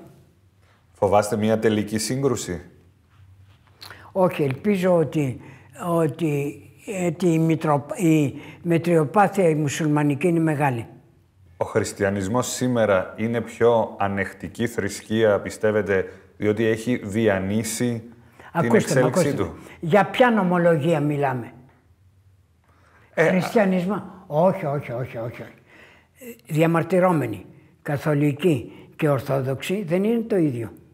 Ναι, έχω- είναι στην μεγάλη ομπρέλα όμως του χριστιανισμού. Ναι, λοιπόν, σας λέω, ο άντρας μου ήταν διαμαρτυρόμενος. Ναι. Λοιπόν, οι διαμαρτυρόμενοι είναι οι πιο ανεκτικοί από όλους. Οι πιο ανεκτικοί από όλους. Να σας πω μια ιστορία για να γελάσετε. Όλαλα, δεν θα τελειώσουμε ποτέ. Δεν πειράζει. Λοιπόν, ακούστε. Βρίσκομαι μια μέρα στις Βρυξέλλες μαζί με αυτόν που διευθύνει την, ε, όλα τα πολιτιστικά της Ευρώπης. Μου λέει, κυρία Βελέα, παίρνω γράμματα για σας. Λέω, γιατί; Λέει, είναι από γυναικείους οργανισμούς που λένε, τι κάνει η Αρβελέρ, γυναίκα, ε, Ελληνής, κα- Ελληνίδα, ελληνικής καταγωγής, βυζαντινολόγος, πρόεδρος των βυζαντινολόγων και μας αφήνει εμάς να πληρώνουμε τα λεφτά μας και να μην μπορούμε να πάμε στον Άθο. Είδα και έπαθα να εξηγήσω γιατί και τα λοιπά. Τέλος πάντων, Θέλω να πάνε βρίσκομαι- στο Άγιο Όρος δηλαδή. στον Άγιο. Ναι. Ναι. Γυναίκες δεν πάνε. Λοιπόν, βρίσκομαι στην, ε, στο VIP της Θεσσαλονίκης και είναι τότε ο Τσοχατζόπουλος υπουργός Αμήνης. Λοιπόν, με συστήνει σε κάποιον που ήταν εκεί, ήτανε μου λέει, είναι ο συνάδελφός μου ο Ρουμάνος και πάμε στο Άγιο Όρος. Α, λέω μπράβο, εσείς πάτε, εγώ δεν μπορώ να πάω. Ήταν μαζί του ένας στρατηγός της στρα... του, του πέμπτου σώματος στρατού νομίζω. Λοιπόν, μου λέει, κυρία Αρβελέρ, εγώ σας έδωσα, λέει, ένα ελικόπτερο για να πάτε να δείτε τον Όλυμπο. Γιατί μέσα σε όλα είχα ζητήσει από τον ε, Καραμαλή, τον Κωνσταντίνο, για να πάω να δω τον Όλυμπο. Μου λέει, θα σου δώσω ελικόπτερο, θα πας. Πήγα. Μην μπείτε ποτέ σε στρατηγικό ελικόπτερο. Είναι ανοιχτό, έχεις μία ζώνη μόνο. Τέλος πάντων. Λοιπόν μου λέει, εγώ σας έδωσα το ελικόπτερο για να πάτε να δείτε τον Όλυμπο, σας δίνω ελικόπτερο για να πάτε να δείτε ό,τι θέλετε στον Άθο. Μπορείτε να κατεβείτε κιόλας, φτάνει να μην βγείτε, γιατί το ελικόπτερο είναι έδαφος ελληνικό. Λοιπόν, εγώ δίνω ραντεβού, εντάξει, και φτάνω στη Γαλλία. Ο άνδρας μου διαμαρτυρόμενος. Του λέω, ξέρεις, πάω στο Άγιο Όρος. Μπα, μου λέει, εσύ δεν μου έλεγες ότι στο Άγιο Όρος από τον ουρανό, στο περιβόλι της Παναγιάς, κατεβαίνει μόνο η Παναγιά; δεν πήγα. Δεν πήγατε τελικά. Ως σεβασμό, ας πούμε, στο... Δεν πήγα. Δεν ξέρω, μην με ρωτάτε γιατί, πάντως δεν πήγα. Λοιπόν, άλλο οι διαμαρτυρόμενοι, άλλο οι καθολικοί και άλλο οι ορθόδοξοι που δεν αφήσανε τον Πάπα να πάει στο Αγιο το, το θυμάστε; Ναι, το θυμάμαι. Άρα είναι μύθος ότι η χριστιανοσύνη είναι πιο ανεκτική από το Ισλάμ; Η απλά... καθολική και οι διαμαρτυρόμενοι ναι. Είναι πιο ανεκτική. Ε, βεβαίως. Δείτε τι κάνει τώρα ο Φραγκίσκος. Η Ορθοδοξία; Στην πόλη ναι. Είπατε πριν ότι είμαι Γαλλίδα. Αυτό στην Ελλάδα ακούγεται λίγο περίεργο όταν το λέτε, γιατί σας θεωρούν μια μεγάλη Ελληνίδα. Ακούστε με, το είπα και το ξαναλέω. Η Ελλάδα πνεύμα και όχι αίμα. Λοιπόν, το διαβατήριό μου είπα είναι γαλλικό. Το διαβατήριό μου. Άρα για τους Γάλλους είμαι Γαλλίδα όσον αφορά τις δημόσιες θε... θέσεις. Αυτό είπα. Ότι είμαι Γαλλίδα για τις δημόσιες θέσεις. Αλλά όταν ε, παρουσιάστηκα στη Σορβόνη ως καθηγήτρια, πριν ακόμα γίνω πρόεδρος της Σορβόνης και μετά πρίτανης της Ακαδημίας, ο, ο τότε πρίτανης μου λέει «Κυρία Αρβελέρ, έπρεπε να κάνω 125 επισκέψεις σε όλους τους καθηγητές. Λοιπόν, μου λέει κυρία Αρβελέρ, πέστε ότι είστε Ελληνίδα. Λέω γιατί. Ε, λέει για να μην σας πάρουν για Ρουμάνα με την προφορά που έχετε. Λοιπόν, οπότε το ότι λέω ότι η Μεγαλίδα είναι ε, ε, θεσμικά η Μεγαλίδα. Αλλά από την άλλη μεριά όλη μου η παιδεία, η γλώσσα μου. Βρε παιδί, έχετε καταλάβει ότι είναι 65 ε, χρόνια τώρα που είμαι στη Γαλλία; Και ότι έρχομαι εδώ για με λίγες μέρες τα όνειρά σας είναι στα γαλλικά ή στα αγγλικά ή στα ελληνικά; Όχι, όχι, όχι, γαλλικά. Τα όνειρά μου είναι γαλλικά, αλλά μητρώ πάντοτε ελληνικά. Και σας, ε, ε, σας πρότειναν ποτέ να πολιτευτείτε στην Ελλάδα; Ευτυχώς όχι. Αλλά δεν κάνω τίποτα από το να πολιτεύομαι. Γιατί αν σκεφτείτε τι είναι το πολιτικό όν, είναι ακριβώς να έχεις δημόσιο λόγο. Ε, και θεωρώ ότι κατά κάποιο τρόπο έχω ένα λόγο που είναι δημόσιος τώρα. Άρα πολιτεύομαι. Όταν πριν ένα χρόνο περίπου το όνομα σας γραφόταν για πρόεδρος της Ελληνικής Δημοκρατίας. Ακούστε, ακούστε, ακούστε. Έχει αρχίσει από πολύ πολύ παλιά αυτό. Ναι. Από πολύ πολύ παλιά. Μια μέρα ο Κωνσταντίνος Καραμαλής, όταν του είπα ότι πρέπει στους δελφούς να γίνει μια ακαδημία δελφική κτλ. Μου λέει, άκου, όταν θα τα αντικαταστήσεις, θα τα κάνεις εσύ. Καλά λέω. Πάει αυτό. Λοιπόν, μετά από τον Καραμαλή, πριν ακόμα από τον Στεφανόπουλο, είχε αρχίσει η ιστορία. Λοιπόν, ήρθανε απάνω συνάδελφοί σας στη Γαλλία. Λοιπόν, μου λένε, κυρία Αρβελέρ, θα γίνετε πρόεδρος της Δημοκρατίας. Λέω, αποκλείεται. Μου λένε γιατί. Λέω, δεν έχω τα τυπικά προσόντα. Μα μου λέει, τόσα μέλη, τόσα διδακτορικά επίσημα, δι, ακαδημίες, πράγματα. Θα... Βρε παιδί μου λέω, δεν έχω κάνει το στρατιωτικό μου. Λοιπόν μου λένε, μα και ο Μικρούτσικος δεν έχει κάνει στρατιωτικό. Ήτανε τότε υπουργός. Πολιτισμού, ναι. Λέω, ρε παιδί, Μικρούτσικη είμαι εγώ. το γράψαν οι εφημερίδες. Λοιπόν, ε, ουδέποτε μου το πρότειναν, ουδέποτε έγινε λόγος και είμαι ευχαριστημένη που όπου και αν με δουν οι άνθρωποι έξω, ο απλός κόσμος, Α, κυρία Αρβελέρ, κρίμα που δεν γίνατε πρόεδρος. Ουδέποτε. Δεν θα το δεχόσασταν σε μια επίσημη πρόταση Ακούστε, από μια κυβέρνηση. Γιατί τότε το debate ήταν ότι επιτέλους αφού είμαστε στην κρίση, ας βγει πρόεδρος, ένας άνθρωπος που δεν προέρχεται από κόμμα, είτε Νέα Δημοκρατία, είτε Πασόκ, είτε ΣΥΡΙΖΑ, που όμως να έχει μια έτσι Να πω καθολική κάτι. αποδοχή. Ναι. Παρακαλώ. η μόνη φορά που είχατε ή εδώ στην Ελλάδα είχαν πρόεδρο που δεν ήταν από κόμμα ήταν η μεγαλύτερη αποτυχία. Να Χρήστος- μην πω ονόματα. Εντάξει, καταλάβαμε και Χρήστος Ατσετάκη εννοείται. Λοιπόν, οπότε Ναι. δεν θα ένιωθα τον εαυτό μου. Αν τώρα ήμουνα 20 χρόνια πιο νέα, τώρα θα το δεχόμουν. Γιατί τώρα έχουν ανάγκη. Από άνθρωπο που ξέρει την Ευρώπη, από άνθρωπο που... Αλλά έπρεπε να είμαι 30 χρόνια πιο νέα. Σκεφτήκατε ποτέ, είναι ανθρώπινο, ε, έτσι μια εσωτερική σας σκέψη, μακάρι όλα αυτά να τα πετύχαινα στη χώρα μου, αυτά που πετύχατε στη Γαλλία, στο εξωτερικό; Ποτέ δεν θα ήταν δυνατό. Ποτέ. Ποτέ, ποτέ. Ακούστε, έχετε έναν ξένο εδώ πέρα. Ε, έγινε ο Ντεκότ στο, πρόεδρος στο Μπενάκι Πριν λίγο καιρό, ναι. και έγινε χαλασμός. Χαλασμός. Γραφτήκανε πράγματα εναντίον, πώς να ξέρει την Ελλάδα. Λοιπόν, και αυτό δεν το ξέρετε. Δε- Δεν είναι ότι ήμουνα πρίτανης. Ξέρετε ποιο ήταν το πιο δύσκολο. Δεν το ξέρετε. Το ότι ήμουνα πρόεδρος του Ποπιντού. Το σκέφτεστε. Το μεγαλύτερο πολιτιστικό κέντρο του κόσμου. Με τεράστιο προϋπολογισμό. Να μην τα συζητάμε τώρα. Ήτανε, τέλος πάντων, α- ας μην τα πω, γιατί είναι ο προϋπολογισμός του κράτους εδώ σχεδόν. Αν, το, αν σκεφτείτε το τι αγοράζαμε από έργα και το τι κοστίζανε. Τέλος πάντων, πάει αυτό. Λοιπόν, εδώ έγινε χαλασμός. Ήρθαν τα παιδιά πάνω και μου λένε, κύριε Αρβελέρ, είναι τρελοί οι Έλληνες. Λέω γιατί; Τι έχουν πάθει με τον Ντεκότο. Δεν ξέρουνε, λέει, ξεχάσανε ότι ήσασταν πρόεδρος του Ποπιντού. Ε, λέω, πάτε να το πείτε. Θεωρείτε πως εισπράτετε το σεβασμό που σας αναλογεί από τους κρατούντες στην Ελλάδα; Το κράτος δεν με ενδιαφέρει. Να το πω τελείως απλά.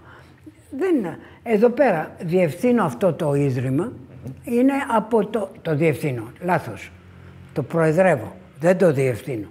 Λοιπόν, από εδώ και 30 χρόνια σχεδόν, 25 χρόνια. Ε, χρησιμοποιούν το όνομά μου και καλά κάνουνε για να έχουν χορηγίες, για να έχουν... Ευτυχώς. Τι σας λένε και γενικότερα τι λένε οι Ευρωπαίοι τα τελευταία χρόνια για τους Έλληνες και την Ελλάδα; Χρειάζεται δηλαδή σε μια Να πω, συζήτηση... να, πω, να πω αλήθειες; Ε, βέβαια. Πάντα λέτε αλήθειες. Λοιπόν, ακούστε με. Ως πρίτανης προεδρεύω όλα τα πανεπιστήμια του Παρισιού, έτσι. Λοιπόν, τότε ήταν ε, πάπας ο Πολωνός, Ο Παύλος. Ο Ιωάννης Παύλος. Λοιπόν, ο Ιωάννης Παύλος. Μάλιστα. Λοιπόν, μου λέει, κυρία Αρβελέρ, θα ήθελα να ξέρω πόσοι Πολωνοί είναι στη Σορβόνη και τι. Και αν έχουν καλά. Λέω, ρε παιδιά, μια και είναι έτσι, ας δούμε όλους τους ξένους. Ναι. Λοιπόν, είπαν, είπαν, είπαν και μου λένε μετά οι τελευταίοι, οι τελευταίοι είναι οι Έλληνες. Γιατί; Τελευταία σε αιτήσια οι απόδοση; τελευταίοι σε απόδοση Μάλιστα. είναι οι Έλληνες. Προσέξτε. Όσοι ανεβαίνουν απάνω για να κάνουν σπουδές από την αρχή έχοντας αποτύχει εδώ να μπουν σε ένα πανεπιστήμιο είναι οι τελευταίοι. Αυτοί έχουν τα λεφτά του μπαμπά, έρχονται απάνω γιατί δε- τους γράφουμε αμέσως, ξέρουν τα γαλλικούλια τους εκεί πέρα, αλλά για να περάσουν ούτε τους νοιάζει. Ενώ αν φτάσουν έχοντας τελειώσει εδώ, είναι οι καλύτεροι. Λοιπόν, όταν μου είπαν ότι είναι οι τελευταίοι, λέω, βρε παιδιά, λέω, ξεχάσατε ότι είμαι Ελληνίδα. Και ακούω. Κυρία Αρβελέ, είναι το μόνο κομπλιμέντο που μπορούσαμε να σας κάνουμε. Λοιπόν, όταν μπαίνω ως καθηγήτρια, ο καθηγητής, ο, ο Πρίτανης μου λέει να πείτε ότι είστε Ελληνίδα για να μην σας πάρουν για Ρουμάνα και μετά από 20 χρόνια, 25, παραπάνω 30, το μόνο ο κομπλιμέντο που μπορούσαμε να σας κάνουμε είναι ότι ξεχάσαμε ότι είστε Ελληνίδα. Ποιο είναι το μεγαλύτερο μειονέκτημα του Έλληνα σήμερα, πιστεύετε; Μειονέκτημα; Να είναι πολύ σίγουρος για τον εαυτό του. Δηλαδή, το ότι η διαφορετικότητα είναι ταυτόσιμη με την ανωτερότητα. Έχετε καυτηριάσει πολλές φορές το, την νοοτροπία που υπάρχει σε πολλούς νεοέλληνες ότι φταίνε πάντα οι ξένοι. Δεν φταίμε εμείς. Ε, αυτό από πού προέρχεται, πιστεύετε, από αυτό που είπατε από τώρα; Από το ραγιαδισμό. Άρα η τουρκοκρατία υπάρχει ακόμη στην, στο DNA μας. υπάρχει η τουρκοκρατία. Δύο, το Βυζάντιο το βάλαμε μέσα σε μεγάλη παρένθεση. Και εκεί θα σας πω τα πράγματα που λέει ο Τσαρούχης. Λοιπόν, για την Κύπρο. Πρώτα, μια μέρα μου λέει, βρε Ελένη μου λέει, τρελίνοι οι Έλληνες. Λέω γιατί; Έχουμε μια απικία λέει και θέλουμε να τη χάσουμε. Για την Κύπρο. Πότε σας το είπε αυτό χρονικά, αν θυμάστε, 60 κάτι; Πότε ήταν για την Ένωση; 55-60. Ένα, αυτή, εκείνη. Η Ένωση ήταν Ένωση, Ένωση, Ένωση. Λέει μια απικία έχουμε και θέλουμε να τη χάσουμε. Πάει αυτό. Το δεύτερο, ο Τσαρούχης λέει ότι η Ελλάδα αρχίζει από τα σύνορά της και πάει έξω. Ναι, ήθελα να σας ρωτήσω γι' αυτό. Άρα η Ελλάδα δεν είναι περιορισμένη στα γεωγραφικά της σύνορα, είναι και η Ελλάδα που υπάρχει έξω. Αλλά αυτό το είπε ο Τσαρούχης αλλιώς. Ναι, βεβαίως. Και όταν σας λέω ότι ο μείζον ελληνισμός βυζαντινίζει, είναι ακριβώς στην αυτοκρατορία. Αλλά ο Τσαρούχης το λέγει αλλιώς. Είπε ότι, απ' τα άλλα του Τσαρούχη, αν σε 50 χρόνια είναι κάποιος πάντοτε φιλέλληνας και δεν έχει γίνει ανθέλληνας, είναι βλάκας.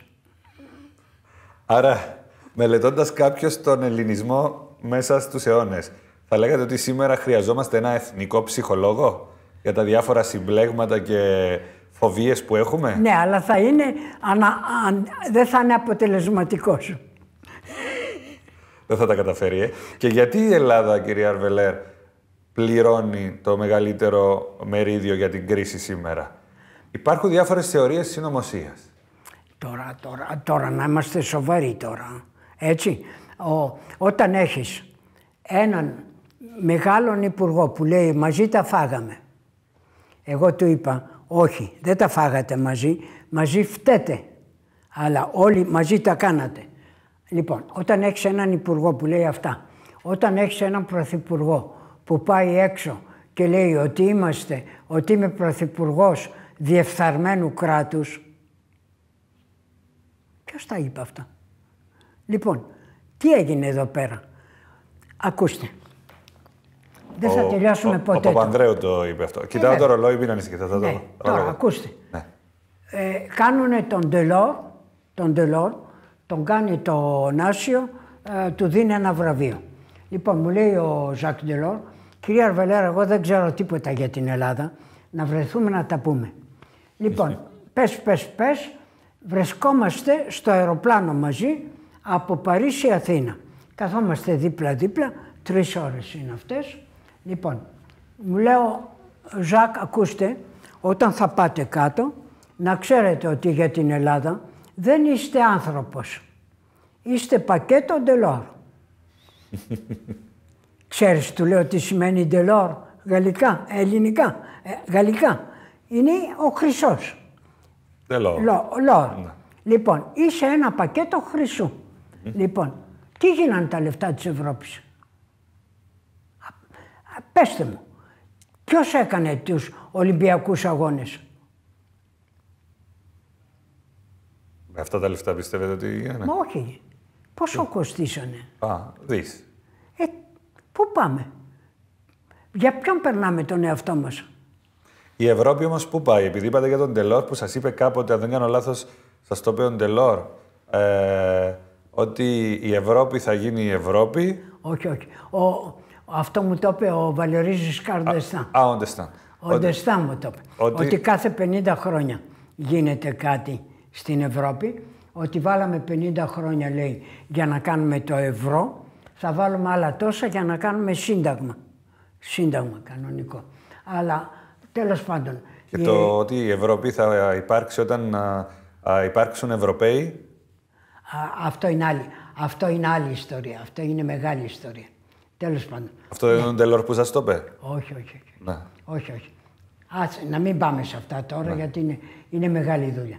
Είναι, αυτός είναι ο Ντεμπρέ που μου το είπε, ο οποίος ήταν πρωθυπουργός τότε της Γαλλίας και ο οποίος μου έκανε και το μεγαλύτερο κομπλιμό, το οποίο ποτέ να, μπορούσε ποτέ να γίνει. Θα σας πω αυτό. Μου λέει, κυρία Αρβελέρ, δεν είστε λέει προσωπικότητα, είστε πρόσωπον. Το θεωρώ ως το μεγαλύτερο κομπλιμό που μου έγινε. Και το χειρότερο κομπλιμό που μου κάνανε είναι όταν κάποτε, δεν ξέρω τι, δεν ήμουν, έκανα μια διάλεξη και δεν ήμουν ευχαριστημένη και μου λέει κάποιος, έλατε τώρα κυρία Αρβελέα και τον κατάλογο των τηλεφωνικών να διαβάσετε θα σας χειροκροτήσουν. Οπότε για μένα ήταν το χειρότερο κομπλιμέντο που μπορούσα να μου κάνω. Ωραία, οπότε για να προχωρήσουμε προς το τέλος, γιατί μαζί σας Ναι, ναι, είναι πια. ανεξάρτητη, ναι. Ε, η Ευρώπη απέτυχε ή όχι, η Ευρωπαϊκή ποτέ, Ένωση. Ποτέ, ποτέ, βρε παιδιά. Ποτέ. Και σταθείτε. Αρχίσανε από την ε, ότοτορίτε. Μετά έγινε η κοινότητα. Μετά έγινε... Εκεί που έχει... Εκεί που ε, πάει η Ευρώπη τώρα κατά τη γνώμη μου είναι να γίνουν διά, διάφοροι κύκλοι. Ένας εξωτερικός κύκλος, ένας λίγο πιο στενός, πιο στενός και στο στενό κύκλο αν φτάσουν να είναι τα μεγάλα κράτη μέσα, πώς έχει αποτύχει. Ή ποιο ήταν το, Ε, το δεν είναι σχέδιο της αποτυχία Ευρώπης. αυτό. Αν, Τίποτα. δεν είναι αποτυχία αυτό, αν υπάρχουν πρώτης και δεύτερης ταχύτητας κράτη μέσα στην Ενωμένη Ευρώπη. Σιγά σιγά. Σιγά σιγά. Ποιο ήταν το θέμα της, Ευρω... του... της κοινότητας; Να μην γίνει ενδοευρωπαϊκός πόλεμος. Τα έχετε σκεφτεί ότι μετά από το 1944 είναι σχεδόν πόσα χρόνια, 70 τόσα χρόνια που δεν έχουμε πόλεμο; Ναι, με εξαίρεση τη Ιουγκοσλαβία που ήταν ένας τοπικός πόλεμος μέσα στην Δεν Ευρώπη. ήταν η Ιουγκοσλαβία κράτος ευρωπαϊκό. Τι ήταν. Δεν ήταν μέσα στην Ευρώπη. Αν εννοείται στην Ευρωπαϊκή Ένωση. Ε, βέβαια. Αυτό σας φοβίζει. Έβλεπα έναν ντοκιμαντέρ πρόσφατα, κυρία Αρβελέρ, που έλεγε ότι μία από τις αιτίες που οδήγησαν στον Πρώτο Παγκόσμιο Πόλεμο ήταν η Belle Époque. Ξέχασε δηλαδή η γενιά που έκανε τον Πρώτο Παγκόσμιο Πόλεμο, δεν είχε μνήμες πόσο φρικτός είναι ένας πόλεμος. Τώρα πάμε πάλι προς τα εκεί. Η γενιά που κυβερνά δεν έχει μνήμες του πολέμου, του Δεύτερου Παγκοσμίου Πολέμου. Δεν θυμάται την κόλαση του πολέμου. Τόσο που υπάρχει η Χρυσαυγή. Δεν τη θυμάται. Ναι. Και ακούστε. η Νεοναζί και η Λεπέν. Ε, ναι, όχι, όχι, όχι. Η Λεπέν είναι στα αριστερά του Καρατζαφέρη. Προσέξτε. Με σοκάρετε λίγο αυτό, για πείτε το. Όχι, όχι. Δεν είναι ο πατέρας της. Ο πατέρας της ήταν ο ακροδεξιός, τον οποίον έδειξε, έδιωξε από το κόμμα, όπως ξέρετε. Αυτή τη στιγμή η Λεπέν είναι ένα, όπως, πώς να πούμε, πώς να πούμε, ε, ο δικός σας, ο κρανιδιώτης είναι. Ο Φαΐλος. Α, ο- εδώ στην Ελλάδα εννοείται. Στην... Ε, ναι, δεν ξέρω πώς τον Ναι. λέτε. Ε, εν πάση περιπτώσει, ε, είχατε πει η Ευρώπη γεννήθηκε μηγάς. Ναι, και το ξαναλέω. Τι εννοείται ακριβώς με αυτό; ότι η Ευρώπη δεν έχει, ο, Μητε, ο, ο Μητέρο έλεγε ότι ένας στους τέσσερις Γάλλους, ένας μόνο, έχει τέσσερις γιαγιάδες και παππούδες Γάλλους. Ιταλοί, Πολωνοί, πράγματα, θάματα, Όλοι. Και οι, όταν πάρετε Γότθους, Βυσιγότθους, Βανδύλους, Ούνους και τα λοιπά, Αλαμανούς και, και Βαρέγκους, Στην Ελλάδα υπήρχε μια πιο, έτσι, να το πούμε εντός πολλών εισαγωγικών, μην παρεξηγηθούμε, καθαρότητα. εμένα μου λέτε, τι σας είπα για τον Ελίτη; Ναι. Βλαχική, Αλβανική, Σλαβική, Τουρκική, Φραγκική, οι τυχογραφίες, αν βαλθείς και τις ξύσεις, πηγαίνεις φυλακή. Η μόνη διαφορά ότι στην Ελλάδα πας φυλακή. Ναι. Και αυτό που πιστεύετε ότι έκανε λάθος η Ευρώπη που α, ξεκίνησε οικονομικά και όχι... Ακούστε. Ναι. πού, πού με πάτε τώρα. Μια μέρα φτάνουν στη Σορβόνη νέα παιδιά. Λοιπόν, μου λένε θέλουμε το μεγάλο αμφιθέατρο. Λέω, παιδιά, αποκλείεται. Λέει, φεύγουνε. Λέω, ποιοι είστε, μου λέει, εζέ. Λέω, τι είναι αυτό; Λοιπόν, étudiants, état généraux de, des étudiants de l'Europe. Εζέ. Εζέ είναι και το Αιγαίο. Λέω, ελάτε από εδώ. Αν είναι το Αιγαίο, σας δίνω το αμφιθέατρο. Λοιπόν, τους δίνω τα... Ήταν όλοι από όλη την Ευρώπη τα παιδιά. Ήταν η πανευρωπαϊκή... Η πανευρωπαϊκή ε, φοιτητική νεολαία. νεολαία ναι. Λοιπόν, τους δίνω το αμφιθέατρο, μου λένε γράψτε και κάτι για μας. Λοιπόν, τους γράφω ένα αυτό, ότι εσείς οι νέοι πρέπει να κάνετε σαν ο Μανέ, ο Μονέ, συγγνώμη, ναι. να μην είχε πει, να μην είχε αρχίσει από τα οικονομικά, αλλά από τον πολιτισμό. Αν ήταν να ξαναρχίσω, θα άρχισα από τον πολιτισμό. Λοιπόν, αυτοί δημοσιεύουν κάτι και γράφουν. Όπως ο Μονέ είπε, αν ήταν να ξαναρχίσω, θα άρχισα από τον πολιτισμό. Ουδέποτε ο Μονέ το είπε αυτό, ουδέποτε. Ευγήκε από αυτή την ιστορία. Το είπε μετά ο Μιτερό, το είπε ο Βάιτσεκερ, το είπανε όλοι, γίνανε συμβούλια εναντίον συμβουλίων κτλ. Και μια μέρα η Σιμών Βέι, μου λέει η Σιμών, όχι η φιλόσοφος, η πολιτική. Λοιπόν, μου λέει Βρέλεν, μου λέει τέτοιες αχλαμάρες, μου λέει. Εσύ τις έβγαλες. Ποιος πολιτισμός, μου λέει. Ποιος πολιτισμός. Έχεις, δεν ξέρεις ποιο είναι το σύνδρομο του Κάιν. Ο πρώτος σκοτωμός γίνεται μέσα στον ίδιο πολιτισμό. Ο πρώτος. Οι μόνοι οι οποίοι δεν σκοτώνονται μεταξύ τους είναι αυτοί οι οποίοι έχουν κοινά συμφέροντα. Τίποτε άλλο. Λοιπόν η Ευρώπη, κοινό συμφέρον θα γίνει Ευρώπη. Κοινός πολιτισμός θα γίνει Κάιν. Άρα η Ευρώπη θεωρείται ότι έπρεπε να διευρυθεί σε βάθος και όχι γεωγραφικά σε ναι, πλάτος. αλλά θα γίνει αυτό. Αυτό γίνεται. Γι' αυτό σας λέω τους κύκλους. Ήδη το ευρώ είναι άλλη ιστορία. Τώρα λένε για το Brexit. Μακάρι να φύγουν οι Άγγλοι. Γιατί; Ε, τι να, τι, τι διάολο τώρα. Αφού είναι Αμερικάνοι, δεν είναι Άγγλοι. Δεν είναι Ευρωπαίοι. Μπορεί να υπάρξει Ευρώπη χωρίς ε, Μεγάλη Βρετανία; Θα γίνει, θα γίνει. Η Μεγάλη Βρετανία. Δεν ξέρετε την ιστορία τι λένε οι Βρετανοί; Όταν γίνεται, όταν ήταν τρικυμία στη μάχη, τώρα βέβαια έχουμε και το υπόγειο, αλλά όταν ήταν τρικυμία λέγανε κοντινό ιζολέ, ότι η Ήπειρος έχει απομονωθεί. Αυτό τους έσωσε πολλές φορές και ιστορικά όμως. Το πιστεύουν οι Άγγλοι αυτό. Εσείς διαφωνείτε; Ε, θεωρείτε ότι οι Έλληνες πολιτικοί σήμερα είναι ανεπαρκείς απέναντι στα μεγέθη που γνωρίσατε εσείς; Ε, πιστεύω ότι οι Έλληνες πολιτικοί δεν ξέρουν ότι είναι ακόμα στην Ευρώπη. Αν ξέρανε την, την πολυπλοκότητα του ευρωπαϊκού συστήματος, την πολυπλοκότητα των οικονομικών πραγμάτων, την πολυπλοκότητα, αν θέλετε, των επιστημονικών, αν θέλετε, ε, επιτευγμάτων, ε, θα ήταν λίγο διαφορετική. Είναι αθώοι. Φοβάστε κάτι σήμερα, στα 90 σας χρόνια, μετά από αυτή τη ζωή που ναι, είχατε ναι. και που έχετε; Ένα πράγμα φοβάμαι, ναι. να χάσω την αυτονομία μου. Τίποτε άλλο. Και αν προσπαθώ να, να πετύχω κάτι, είναι τον ακαριαίο θάνατο. Και να πεθάνω όρθια. Τίποτε άλλο. Πάντως, ε, όσοι σας βλέπουμε, θεωρούμε ότι δεν έχετε γεράσει ποτέ. Ναι, στα 90 περπατώ. Στα 100 θα φτάσω και τότε μόνο θα σκεφτώ αν πρέπει να γεράσω. Και πάλι σας ευχαριστώ θερμά, κυρία Αρβέλα. Ευχαριστήσει και στο Ξένο Travel που βοήθησε στην πραγματοποίηση της απόψινή εκπομπής και σε εσάς που μας παρακολουθήσατε. Να σας ευχηθώ καλό Πάσχα και θα τα πούμε μετά το Πάσχα. Να είστε καλά, καλό σας βράδυ.